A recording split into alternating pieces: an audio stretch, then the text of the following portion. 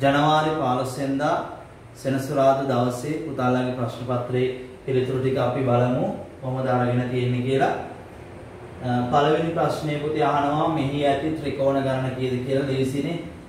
වටේට එකක් තියෙනවා ඊළඟට එතනින් ඇතුලේ තව එකයි එතනින් ඇතුලේ තව එකයි ඔක්කොම ත්‍රිකෝණ තුනක රූපයක් තමයි තියෙන්නේ. උත්තරේ අංක 1 අංක 1 ඊළඟ දෙවෙනි ප්‍රශ්නේ මේන් නිරූපිත සංඛ්‍යාව කීයද? මේකෙන් පෙන්නන සංඛ්‍යාව කීයද? දැන් මේ එක දඬුවක තියෙනවා 10ක් මේකේ 10ක් තියෙනවා මේකේ වෙනම එක එක දෙකක් තියෙනවා. එතකොට 10යි 10යි එකතු කළාම 20යි 20ට මේ දෙක එකතු කරාම 22යි. මෙතන 22ක් නිරූපණය කරනවා. ඊළඟ පුතේ තුන්වෙනි ප්‍රශ්නය කේක් ගෙඩියේ බර පාන් ගෙඩියේ බරට කේක් ගෙඩියේ බර පාන් ගෙඩියේ බරට වඩා වැඩි වඩා අඩුයි සමානයි. තරාදිය තියෙනවා පුතේ තරාදිය තැටි දෙක බැලුවමත් සමානයි. මෙතන සමානතාවයේ දක්වන මෙන්න පොඩි ඉරි කෑල්ලක් තියෙනවා. ඒකත් හරියටම මේ ත්‍රිකෝණේ මුල්ලට වැටිලා තියෙනවා. ඒ කියන්නේ දෙපැත්ත සමානයි කියලා. ඒකේ අදහස පුතේ මේ පැත්තේ බරට මේ පැත්තේ බර සමාන වෙලා තියෙන්නේ. එහෙනම් කේක් ගෙඩියයි පාන් ගෙඩියයි බර මොනවා වෙලාද? සමාන වෙලා තියෙන්නේ. කේක් ගෙඩියයි පාන් ගෙඩියයි බර සමාන වෙලා තියෙන්නේ උත්තරේ 3. right. අංක 4 පැති දෙක බැගින් සමාන හැඩතලයේ කුමක්? පැති දෙක බැගින් මේ පැත්තට right මේ පැත්තට මේ පැත්ත සමානයි මේ පැත්තට මේ පැත්ත සමානයි පැති දෙක බැගින් අපි කියනවා සම්මුඛ පැති කියලා. පැති දෙක බැගින් සමානයි. සම්මුඛ පැති. සම්මුඛ පැති. දැන් මේකේ නම් පැති හතරම සමානයි. මේකේ පැති තුනම සමානයි. පැති දෙක බැගින් සමානයි. සම්මුඛ පැති සමානයි. සම්මුඛ පාද සමානයි. ඍජු කෝණාශ්‍රය උත්තරේ 1 හතරට. අංක 5 මෙහි වැඩිපුරම දක්නට ඇති හැඩතලය. වැඩිපුරම යෙදී ඇති හැඩතලය කුමක් වැඩිපුරම තියෙන්නේ මොනවද? සමචතුරස්‍රය 1යි 2යි 3යි 4යි පැති හතරක් තියෙන සමචතුරස්‍රය. දැන් මෙතන සමචතුරස්‍රයක් තියෙනවා. right? එතකොට උත්තරේ 1 ත්‍රිකෝණ තියෙන්නේ එකයි පුතේ. මෙතන එක වෘත්තයක්වත් නැහැ. තුන්වෙනි උත්තරේ ගන්නත් බෑ කොහොමද අංක 6 පහත ඒවායෙන් සරල රේඛාවට අදාළ අක්ෂරය කුමක්ද? පහත ඒවායෙන් සරල රේඛාවට අදාළ අක්ෂරය.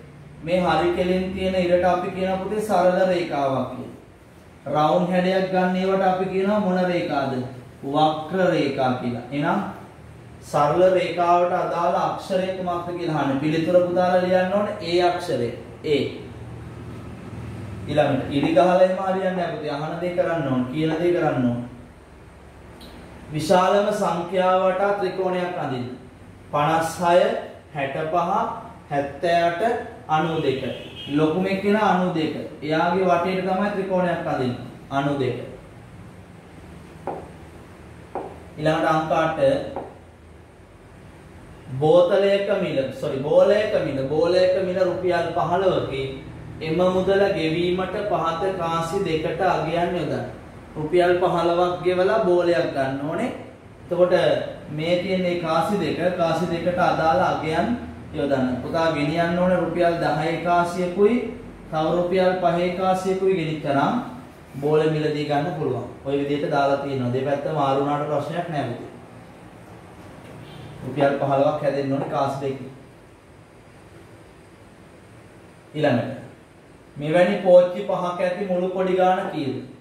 මේ පෝච්චිය හිටවලා තියෙන කොඩි දෙකක්. කොඩි දෙකක්. මේ වගේ පෝච්චි පහක් ගත්තොත් එහෙම කොඩි දෙක ගානේ එක පෝච්චියයි පෝච්චි දෙකයි පෝච්චි තුනයි පෝච්චි හතරයි පෝච්චි පහයි. ඒ කියන්නේ දෙකයි දෙකයි හතරයි දෙකයි හයයි හයයි දෙකයි අටයි අටයි දෙකයි දහයි. ඔක්කොම එකතු කරාම දහයි. නැත්තම් ගුණ කරලා ගන්න පුළුවන් ලේසියෙන්. දෙක ගුණ කිරීම පෝච්චි පහක්. දෙවරක් පහ දහයයි. නැත්තම් අනිත් පැත්තට ලිව්වත් කමන්න. පස්සරක් දෙක දහයයි.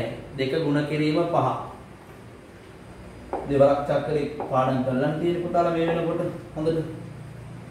අඹ ගෙඩියක් තියෙන දොඩම් ගෙඩියක් තියෙන මේ මේ ගෙඩි වලින් රටාවක් ගොඩනගන්න. පුතාලට කැමති රටාවක් ගොඩනගලා තියෙනවා නම් මම මේ අදින රටාව නෙමෙයි ඔයගොල්ලෝ කැමති එකක් හරි දාගන්න පුළුවන්. දැන් මම